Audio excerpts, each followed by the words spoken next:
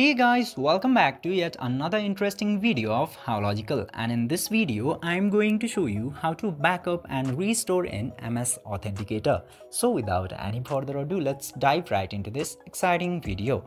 Now, in order to backup into your MS Authenticator, you just simply have to open your Authenticator application at first. Then after opening the Authenticator application, just simply unlock the app and then you will get to see so many options into this homepage. Now just simply tap into this three dots in top right and from there you will get to see this gear option. Tap into that gear option and go to settings. Now you will get this option of cloud backup into here.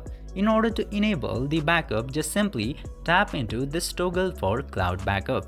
Then your cloud backup will successfully be enabled into your Microsoft Authenticator account.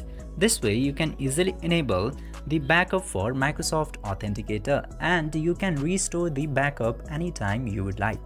I hope this video was helpful for you. If yes, don't forget to like, share and subscribe to the channel to never miss another update. Thank you for watching the video.